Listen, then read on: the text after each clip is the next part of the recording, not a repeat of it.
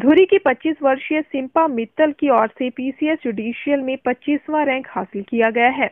सिम्पा की इस प्राप्ति के चलते सिम्पा के घर बधाई देने वालों का तांता लगा हुआ है। सिम्पा के पिता हरकेश मित्तल ने बताया कि उनके पिता का यह सपना था जिसे आज उनकी बेटी ने पूरा कर दिखाया हज़ार टीवी न्यूज़ के लिए धुरी से हर्ष कौशिक की रिपोर्ट। ਕਹੂੰਗੀ ਕਿ ਅ, ਕੁੜੀਆਂ ਨੂੰ ਘੱਟ ਨਹੀਂ ਸਮਝਣਾ ਚਾਹੀਦਾ ਕਿ ਹਾਂ ਕੁੜੀਆਂ ਸਿਰਫ ਘਰੇ ਬੈਠੀਆਂ ਰਹਿਣ ਜਾਂ ਘਰ ਦੇ ਕੰਮ ਕਰਨ।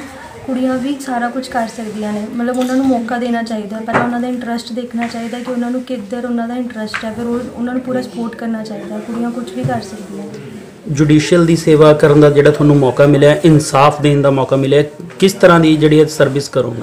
ਮੈਂ ਮਤਲਬ ਪੂਰੀ ਆਪਣਾ ਲਾਅ ਦੇ ਅਕੋਰਡਿੰਗ ਸਾਰਾ ਕੁਝ ਉਹਦੇ ਅਕੋਰਡਿੰਗ ਚੱਲੂੰਗੀ ਜਿੱਦਾਂ ਮੈਨੂੰ ਟ੍ਰੇਨਿੰਗ ਦੇਣਗੇ ਜਿੱਦਾਂ ਮੈਨੂੰ ਟ੍ਰੇਨ ਕਰਨਗੇ ਉਹਦੇ ਅਕੋਰਡਿੰਗ ਅੱਗੇ ਆਪਣਾ ਵਧੂੰਗੀ। ਪੀਸੀਐਸ ਦਾ ਕਲੀਅਰ ਕੀਤਾ ਪੇਪਰ ਇਹਦੀ ਮਿਹਨਤ ਦਾ ਫਲ ਆਈ ਬਾਕੀ ਇਹਦੇ ਦਾਦਾ ਜੀ ਦੇ ਸੁਪਨਾ ਸੀ ਉਹ ਇਹਨੂੰ ਬਹੁਤ ਕਹਿੰਦੇ ਹੁੰਦੇ ਸੀ ਛੋਟੀ ਹੁੰਦੀ ਤੋਂ ਵੀ ਇਹ ਮੇਰੀ ਧੀ ਜੱਜ ਬਣੂਗੀ। ਬਾਕੀ ਉਹ ਉਹਨੇ- ਉਹਨਾਂ ਦਾ ਆਸ਼ੀਰਵਾਦ ਸੀ ਇਹ ਜੱਜ ਬਣੀ ਅੱਜ ਅੱਜ ਘਰ 'ਚ ਖੂਬ ਰੌਣਕਾਂ ਲੱਗੀਆਂ। ਹਾਂਜੀ।